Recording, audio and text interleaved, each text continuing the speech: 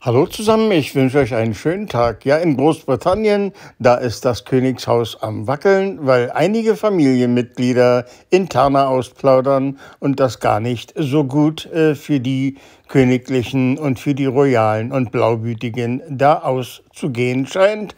Aber das Volk will das alles nicht hören. Es ist überall auf der Welt der einfache Bürger braucht seine Helden und braucht jemand, dem er blind hinterherrennen kann. Ja, äh, die Kryptowährungen, die sind in Verruf geraten, Milliardenverluste, Millionen Anleger wurden um ihre Ersparnisse und um ihre Investitionen geprellt.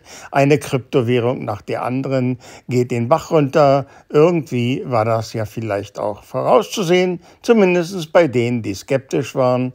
Aber es ist natürlich alles anders anders, denn die Russen sind schuld und nicht etwa Spekulanten. Ähnlich mit den Schuldzuweisungen geht es auch gerade im aktuellen Bestechungsskandal in der EU.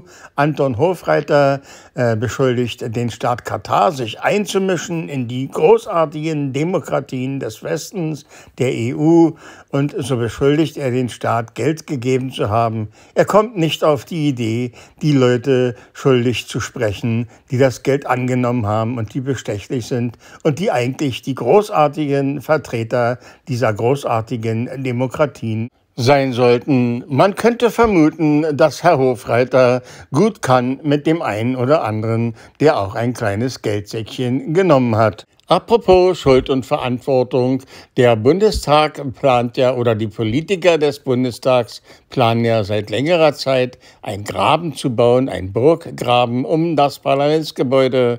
Und äh, viele Teile der Bevölkerung waren damit nicht einverstanden. Man war der Meinung, dass eine Demokratie das nicht braucht. Aber jetzt fordern führende Politiker aufgrund der Razzien, aufgrund der Terrorwarnungen der Reichsbürger nun noch bessere Sicherheitsvorkehrungen. Und da kommt sozusagen diese ganze Aktion gerade zurecht, um diesen Graben zu rechtfertigen. Sehr clever, sehr günstig, sehr cool das passt. Tja Leute, und ich kann mich nicht wehren, irgendwie kommt mir in den Sinn, dass gerade so einiges mehr noch passt. Die Wissenschaftler haben jetzt in der Kernfusion einen Durchbruch erzielt und möglicherweise besteht äh, die Möglichkeit, dass der Weltbevölkerung Energie kostengünstig zuteil werden kann und dass sich auf dem Energiesektor in naher Zukunft so einiges grundlegend ändern wird. Möglicherweise hängt ja alles miteinander zusammen.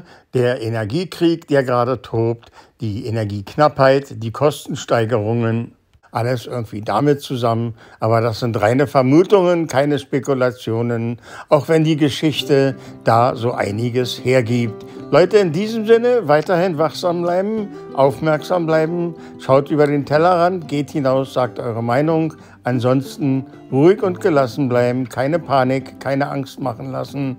Wir werden das irgendwie hinkriegen. Die Menschen sind im Grunde zu einem großen Teil doch nicht so dumm. Möglicherweise reichen wirklich 20 Prozent der Bevölkerung aus, um irgendwie etwas grundlegend zu verändern. Leute, macht's gut, bis zum nächsten Mal. Tschüss und ciao.